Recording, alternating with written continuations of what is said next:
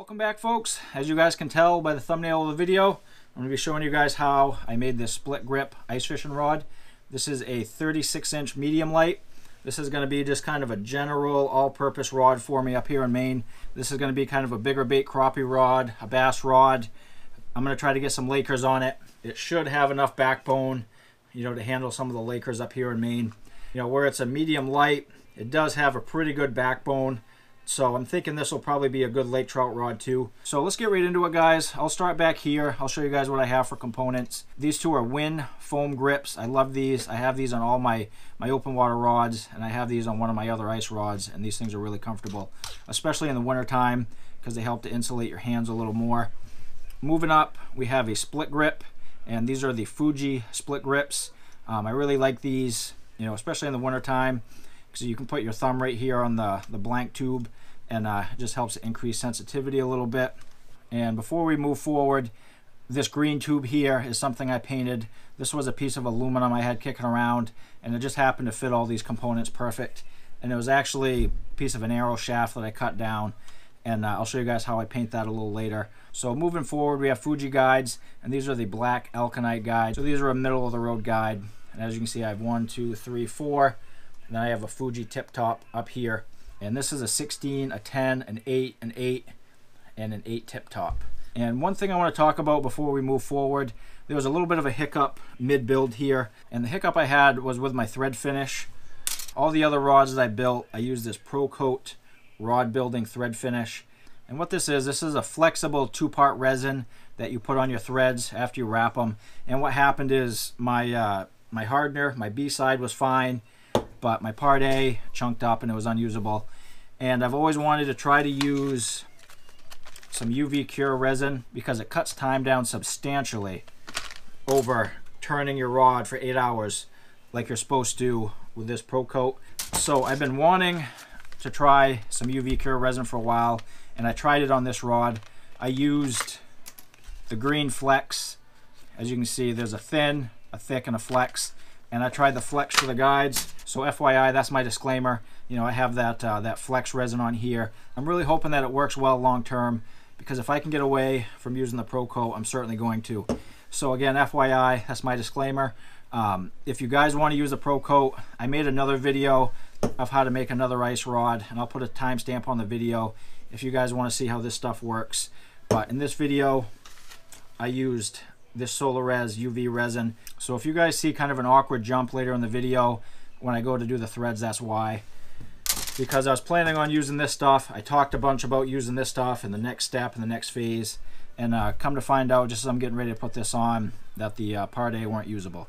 So if you guys see an awkward jump, that's why. And this rod is, like I said, pretty well universal. Um, here it is with an inline ice reel. This is a 13 fishing Black Betty Freefall. It's a really nice reel. So I designed it so you could use it with this reel or a spinning reel like we have here. This is a Shimano Sahara size 1000 reel. It's a real nice durable reel. It's a great ice reel. It, uh, it fits this rod really well. And this is going to be a really good ice rod. Fits this 36 inch perfect. So that's the basics of the rod guys. We're going to get right into it. Um, we're going to get right into the build. We're to start where I started on the handle tube here, and then we're going to move forward through the rest of it. All right, guys, so first step is we're going to paint the aluminum shaft that the handle's made on. So first thing I'm going to do is just take some sandpaper, and I'm going to lightly score this before I spray my sealer on it.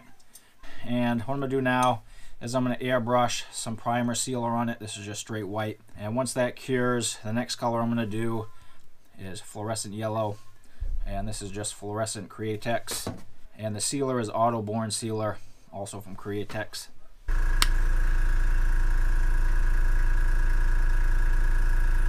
This stuff really does help the other paint stick. I always like to spray a sealer. Alright, so this is the first coat of primer. Alright, what I'm going to do is to speed up the process between the next coat. I'm just going to use a heat gun just to speed this up a little. Okay, second coat. And just about out. There, that'll work. So I'm just gonna slide it on here. Gotta let this sit for about 20 minutes. before I put the paint to it. All right, so been about a half hour. That's pretty well cured. The directions say to let it cure for about 20 to 30 minutes. Got the fluorescent yellow. Gonna try to do nice even coats. Turn my pressure down a little. I'm running at about 15 psi, in case you're wondering. I'm gonna have to do a couple different coats because this stuff goes on pretty thin. So I'm gonna get a nice even coat. I'm gonna heat set it, and I'm gonna do another one. You see that's pretty even. And now I'm gonna heat set it with a heat gun. Heat set. Alright, made a little adjustment as you can see. Just put this on a screwdriver. Just so we can have a little better control of it. Here we go, second coat. Quick heat set. Quick heat set before we do the third coat. Alright, so we are dry to touch. So I'm just going to let this air cure for about 15-20 minutes. Then we'll put a top coat on it.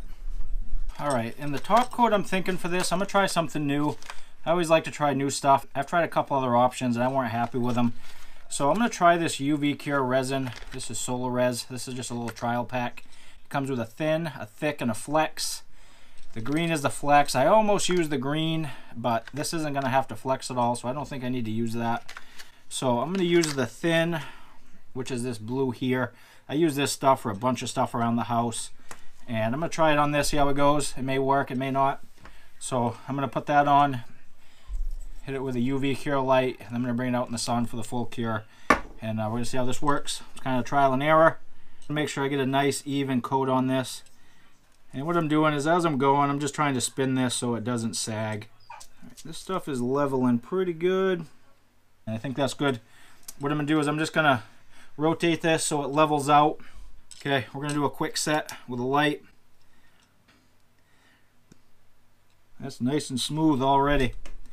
Good thing about this UV Cure resin is it cures almost instantly. And I'm just making sure that this gets even coverage. That's nice and solid. Just another pass or two. Then I'm going to put it in my south-facing window for about 20 minutes. So here's our south-facing window. As you can see, we're getting a ton of sunlight coming through. What I'm going to do is I'm just going to twist it here for a couple minutes. And sunlight coming through a window is more than enough to cure this. Alright guys, so it's the next evening. I took a little bit of a break. We've been pretty busy. This is how it came out. It came out pretty good. It's nice and smooth, um, nice and durable. I can't scratch it with my fingernail. And next step, what we're going to do is we're going to completely assemble this handle section before we put the the rod blank on. I haven't done anything to this rod blank. I've just uh, mocked up some guides here. So we're going to completely assemble this, then we're going to get the rod on afterwards. And the first thing I'm going to do is I'm just going to mock up all these components. And what I'm going to do is just build up some arbors out of masking tape. That way these things fit all nice and snug.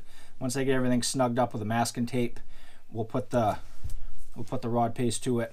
And once that sets up, we'll get the blank on. And I like to use two little arbors versus one big one.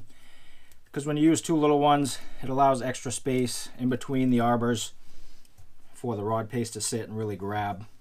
Okay, that's pretty snug. That's where we want it. You see that's uh, not coming off. And what I'm going to do for extra security is I'm going to score where most of this rod paste is going to be sitting.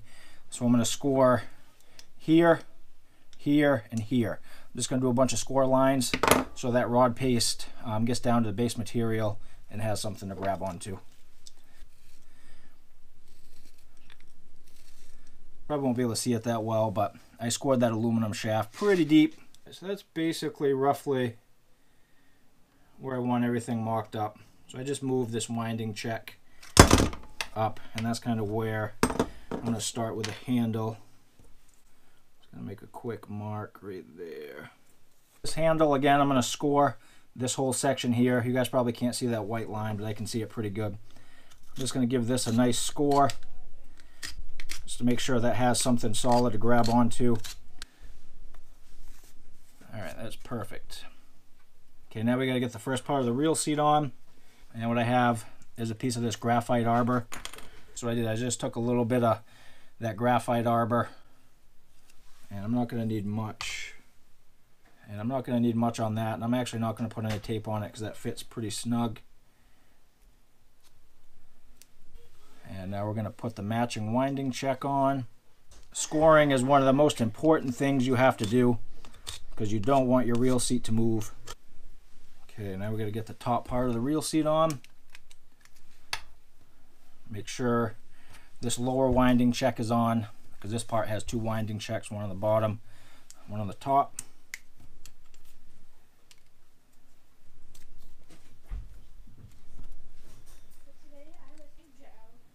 Just going to score this top part.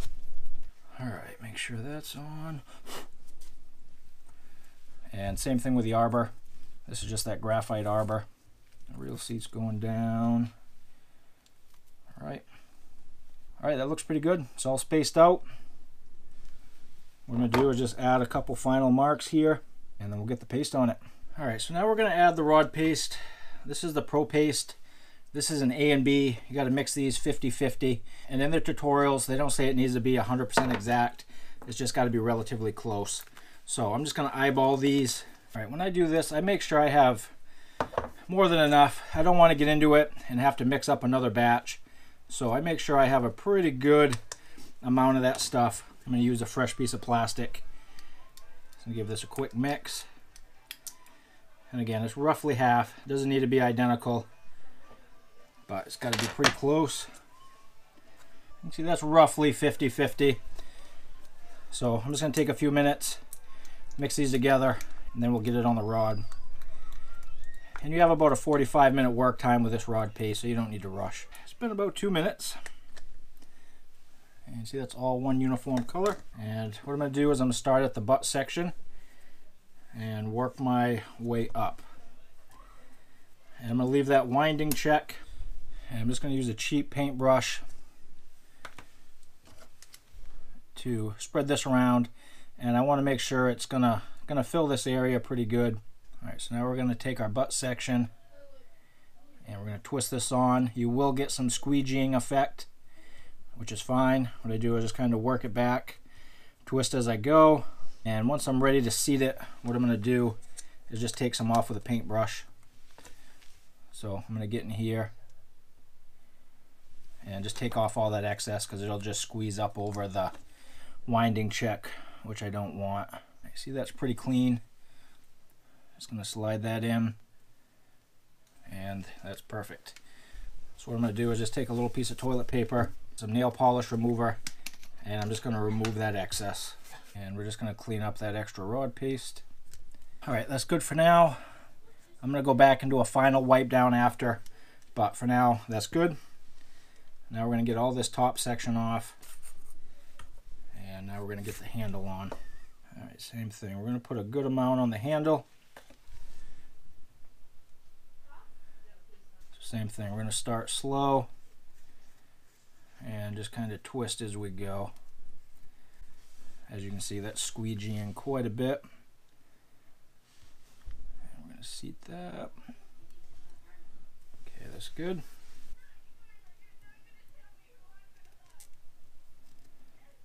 All right, that's all neat and clean.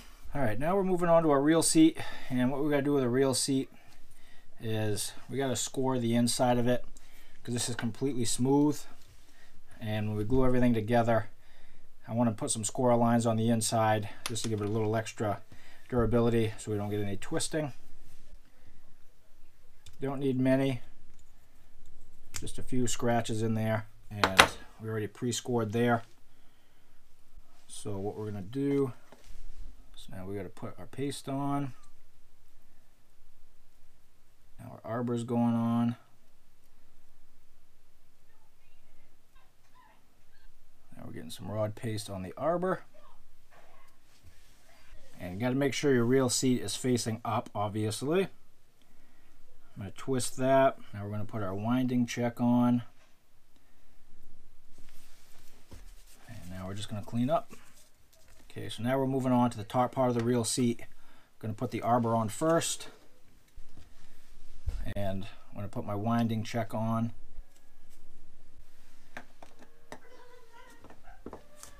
Okay, here we go, rod paste. Find you don't need to put nearly as much on with a graphite. All right, arbor. Give it a spin. And these ones I don't have to score inside. These have pre these have pre-made score lines. I'll try to keep that nice and easy so you guys can see. Um, and they're pretty deep grooves. I can actually feel them with my finger. So this one's ready to go. All right, now we're putting some paste on the arbor. All right. Again, you got to make extra sure you're putting your reel seat on the right way. And actually, I'm to tape the threads. Much easier to tape the threads now than it is to clean all the paste out afterwards. Try my best to twist.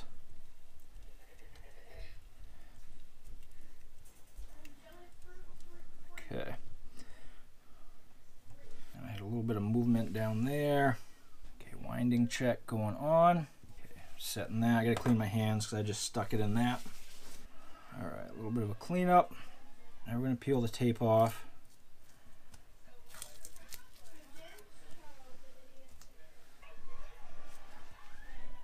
I'm gonna do is uh, I'm gonna do a quick wipe of all the other components because once that rod paste heals, you're pretty much married to it. Any imperfections you have, you're pretty much married to. All right, now what we're gonna do is we're gonna take this reel seat from an old reel I had and we're going to use this to line up the reel seats. We're going to make sure this is completely aligned. Alright guys, so our reel seat's pretty much done.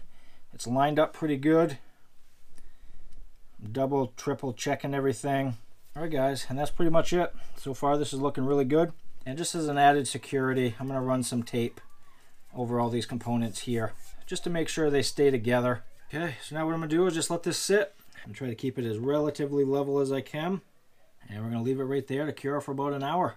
Alright guys, so it's the next morning and uh, everything's set up about an hour, hour and a half after I rod pasted everything. And it came out really good. Everything looks good. Just show you guys with a reel. I think this looks really good with this reel on it. I think it looks really good. You know, the black and green, you know, the black housing of the reel. I think it looks really good. It looks nice and clean. So the next step we have is uh, we got to start working on the rod itself. And there's two ways you can go about this. You can take your handle and you can take your unfinished rod blank and rod paste your blank into the handle. Wait for this to set up, you know, an hour, hour and a half, and then get working on your guides. And what I'm going to do is I'm going to set this aside. And what I'm going to do is I'm going to get my guides on first. Um, I'm to get my guides on. I'm to thread wrap them. I'm going to put them in my turner. I'm to let them turn. And once that's all set up, I'm going to rod paste it into my handle here. And the reason I'm doing it this way is when you're laying down your thread wrap, you know, you have to turn. And if this is all set up onto my rod here, I don't want to risk messing up my paint job when I'm twisting on my thread wraps. So that's the only reason why I'm not doing it with a rod, rod pasted into the handle. You could do it that way if you wanted to, but I'm not. So what we're going to do is we're going to get working on the blank. And the first thing we're going to do is we're going to find the spine of the rod. And what that is, is under pressure, it's where that rod is going to maintain most of its stability and flexibility. So what you do is you, you flex the rod and you turn it. And these ice fishing rods are pretty easy to find. So I'm loading it and I'm twisting it and that's where it snaps into place. Okay, right there. So what I'm to do is I'm to mark this side of the rod just like that. And just for reference, what I'll do is I'm to put a piece of tape on just so you guys can see what I'm talking about. So this is basically where my guides are going to go. They're going to face where this tape's going. All right, so when I flex and twist, you'll see that that should should pop right up where it is. See, turn and twist, and it's up, twist and it's up, twist and it's up. So this is where the spine is. So this is where my guides are going to orient. My guides are going to orient up this way because this is where that rod wants to flex is up where this direction is right here. All right, so now I'm just marking a big line for visual reference. Next step is this is how far the blank is going to be in the handle. I do have a little bit of wiggle room that I could go in this aluminum tube, but I think I'm going to pretty much max this out because this is a 36 inch blank and that feels pretty good. If I slide this out a little bit, it doesn't feel quite right. So I'm going to keep basically basically a full handle length. So I spent a few minutes off camera. I just did a quick mock-up of my guides. And I think this is what we're going to roll with. I'm doing four guides. One, two, three, four, five with my tip guide. And that looks good. The big thing with guides is when you flex your rod, you just want to make sure that your line isn't coming in contact with your rod, which that isn't. That's not even close. So I think that looks pretty good. And now I'm just going to mark the base of all these guide feet. All right, so next very important step is I'm going to take these guide feet and I'm going to grind this lip off a little bit. This is just so we get a nice even climb up with our thread. When these come, they come with a little bit of a taper, but I'm going to taper that even more. And you just need a, a Dremel tool with a sanding bit. And it doesn't take a lot of sanding to create a nice even step. All right, I'm not sure if you guys can pick that up on the camera, but I just shaved the tip off and uh, that's what we need. And I'm just gonna do this to all the other guides. All right, so we're ready to get our first guide on. And what we're gonna do is we're gonna tape the guide onto the blank where our first mark is. And now we're gonna take your thread and you're gonna tape your thread towards the top of the blank. And I'm to bring you guys in nice and close for this next part. So now you're going to wind your thread down towards the butt of the rod and you're going to go about, I don't know, a quarter of an inch, maybe a little more than a quarter of an inch away from the guide. And this is what's called a locking wrap. I'm going to wrap over the tag end and we're going to wrap towards the tip of the rod. And this is locking in that tag end.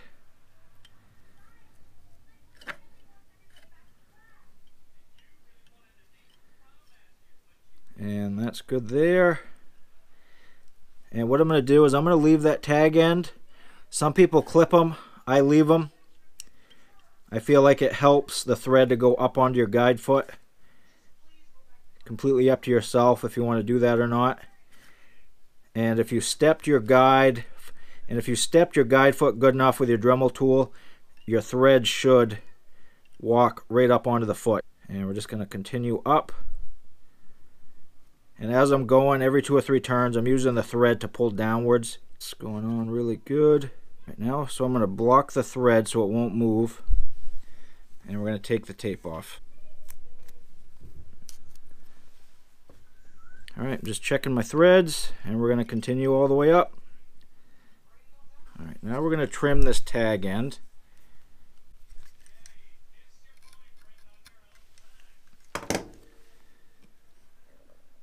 So now what we're going to do is we're going to save 8 to 10 turns going towards the top. Alright, so now we're going to take this string that we saved earlier. We're going to try to get this under the line. Okay, now we're just going to wrap up on top of that loop. You guys will see what that's for in just a minute here. Okay, so now what I'm going to do is block the line with my finger. I'm going to take my scissors, gonna cut the line. And we're gonna try to do this so you guys can see. I'm gonna take this we're gonna put it through the loop. Okay so now I'm gonna grab that main line. I'm gonna grab the two tag ends of this here and we're gonna pull that main line down this way. And that's what's called a locking wrap that way there's no knots we have to do. Everything's nice and uniform. I'm just going to grab this, give that a little bit of a tug. And that's our first wrap. All right, folks, there you have it. There's our first guide. It's nice and neat. I'm going to leave this tag end on it till I get all my other ones done. I'll do a final tighten um, once they're all done. And uh, just going to do a double check. That guide's right in line with the spine double checking my white line. Everything looks good. So what I'm gonna do guys I'm gonna do the next three off camera because it's the exact same how I did this one. Then I'll catch up with you when I put my tip top on. Alright so what you need for this is you need a tip top and tip top adhesive and some form of heat. I couldn't find my lighter in here so I'm just gonna use a heat gun. Gonna get this nice and runny smear it on the top and then put your guide on. Sometimes you have to adjust it a couple times. You see that start to kind of move around on its own. That's when I go in, grab a nice chunk of it, Try not to set that on anything because it'll stick to it.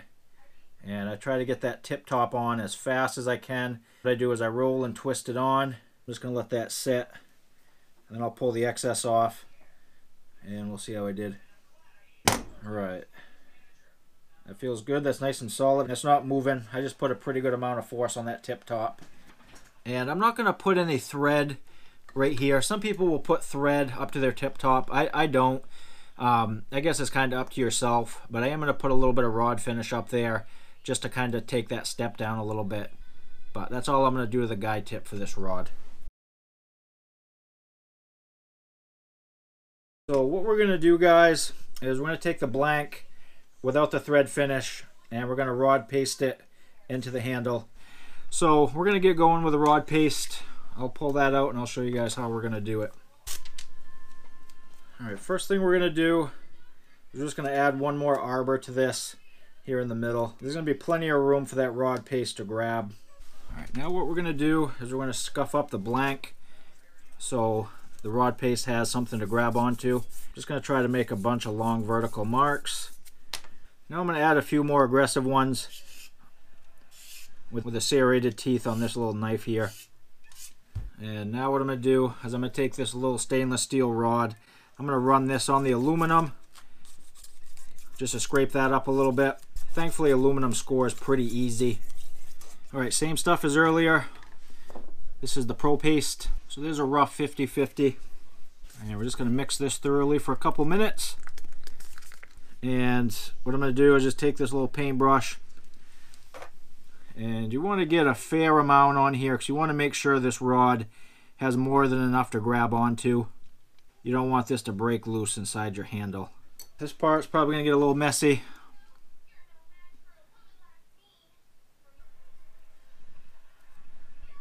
As you can see, a lot of that squeegeeing off. But what I'm trying to do is, is just twist this and get it to pull in as much as I can. Now what we're going to do is just try our best to get as much of this out as we can before we take that tape off. Let's get this tape off.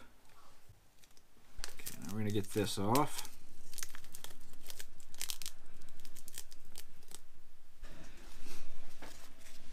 Not bad.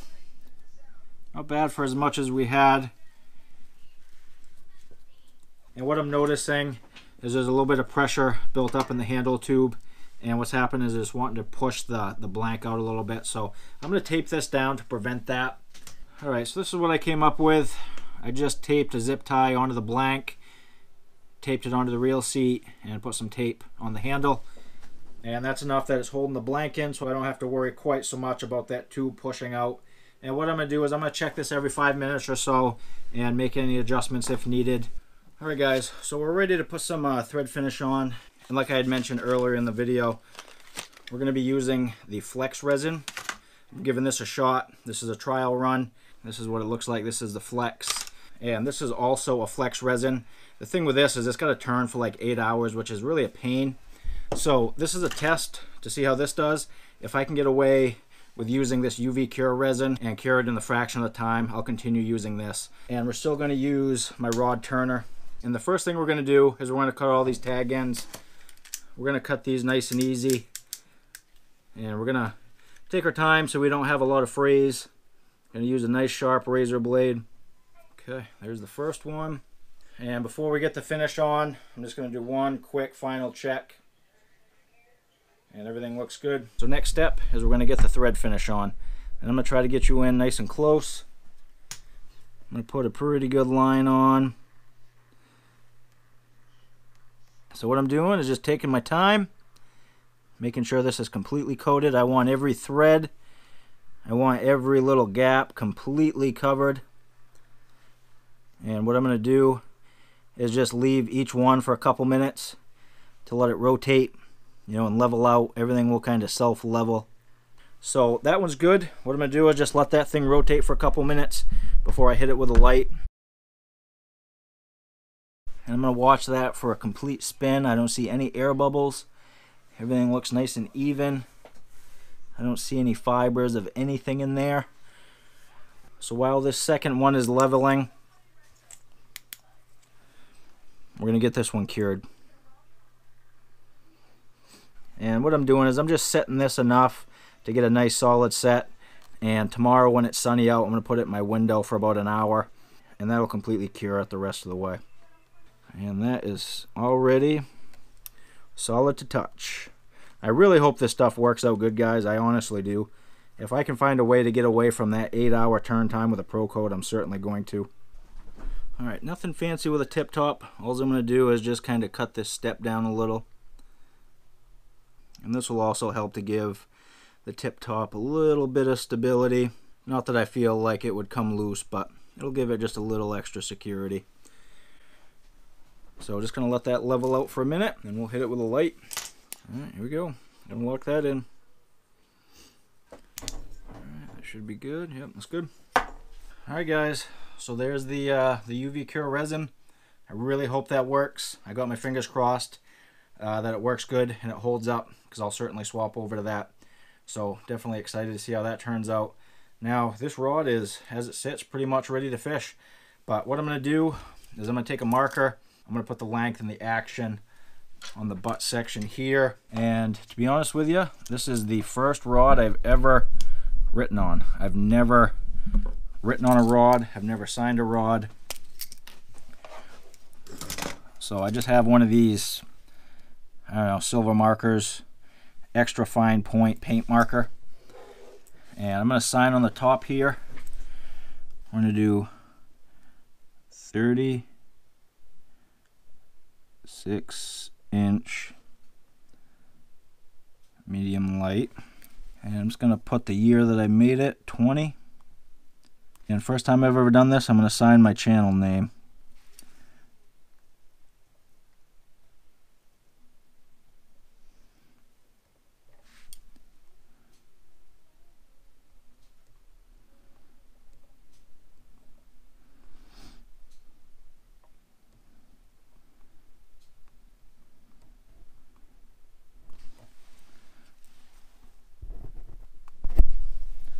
Okay, not the best, but I will take it. First one I've ever signed. 36 inch medium light, year 2020. So I'm just going to let that cure up for a couple minutes and I'm going to get another layer of that UV Cure resin on and this signature will be ready to go. And we're going to be using the thin resin for this part of the blank just because it's not going to have to flex like the guide resin has to. So I'm going to make sure to get a little bit on the winding check just to help protect that too. So I'm just going to let this self level for a couple minutes and I am going to watch it as it goes. I'm just going to double triple check everything. So that looks pretty good there. I'm going to do a quick set with a light. I'm going to do about three full revolutions. Then I'm going to bring it out in the sun for its final cure. So we're pretty hard to touch. What I'm going to do now off camera, I'm going to bring this out in the sun and I'm just going to rotate this in direct sunlight for a couple minutes. And then this rod is going to be ready to fish. All right folks, there you have it. There's our finished ice rod. Everything's all cured up, everything's set up, and uh, I think it came out great. I'm more than happy with how it came out. I think it looks great, feels awesome, it's nice and comfortable. I think the action is going to be really good for what I want. It's going to be kind of a good general all-purpose rod. I'll be able to hit crappie with it, perch with it, bass with it, hopefully some lake trout. Like I said earlier in the video, I'm thinking it's going to have enough backbone to catch some lake trout. And uh, I'm really excited to fish it for the first time. Hoping to get it out this weekend and uh, catch some fish with it. But we're going to wrap it up there, guys. If you guys have any questions, feel free to ask. I'll try my best to answer them. Thanks for watching, and we'll see you on the next one.